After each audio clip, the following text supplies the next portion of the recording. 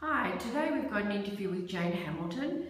Jane's here at Lacuna Galleries and we're going to talk about Tom Murray's paintings. Over to you, Jane. Hi. Welcome. Tom Murray is a great self-taught painter. Been painting over 35 years. These are his paintings behind me. Paints oil on linen, uh, landscapes of the Southwest.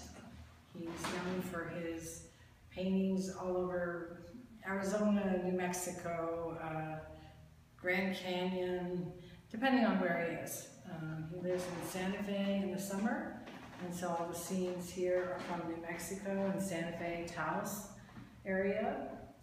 Uh, Tom paints oil on linen and also oil on board.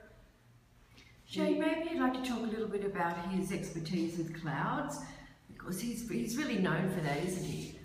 Tom's known for his clouds, for his sunset skies, for he seems to have a couple of different camps. Some people love his white cloud paintings and other people just are mesmerized by the sunsets. Uh, he's a self-taught painter. He's uh, spent uh, 35 years learning his craft.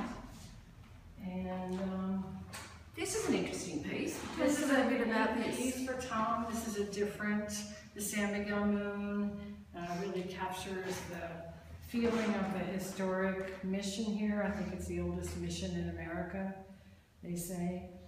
Um, a night scene is hard to paint. Most uh, landscape painters stay away from them. Uh, it has to go blue or green. He's gone in the green blue vein here, using the moon for light. Hey, that's fabulous. Look, thanks for that. It's really nice to get to know our artist little by little.